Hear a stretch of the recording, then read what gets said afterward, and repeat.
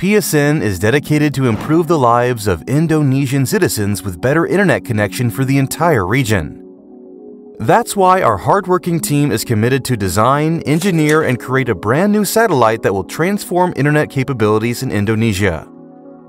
Our brand new satellite, Nusantara Tiga, incorporates the latest digital processing technology to become Asia's first Spacebus Neo 6 satellite and the first very high throughput satellite in Indonesia.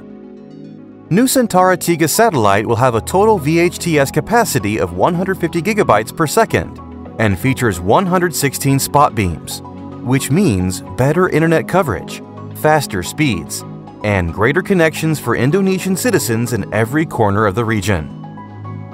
These capabilities will give Indonesian citizens wider access to digital resources, supporting the effort to achieve more opportunities in terms of commercial or educational purposes. The Nusantara Tiga satellite will be launched from Cape Canaveral, Florida, USA, and be incorporated in our satellite fleet. The Nusantara Tiga satellite was made by world-class manufacturers from around the world.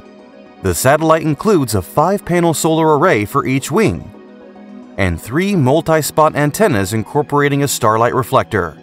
In addition, the satellite will use four electrical thruster mechanisms to improve its position and signal accuracy. Additionally, the Nusantara Tiga satellite will be connected to 11 ground stations across the Indonesian archipelago. Thanks to our global collaboration between SNT and United States of America, France, and China. The launch of Nusantara Tiga satellite will make PSN as the largest satellite operator in Indonesia, allowing the company to give greater internet access to all corners of Indonesia. Hopes for a better future for the next generation of Indonesian citizens will be closer to achieve.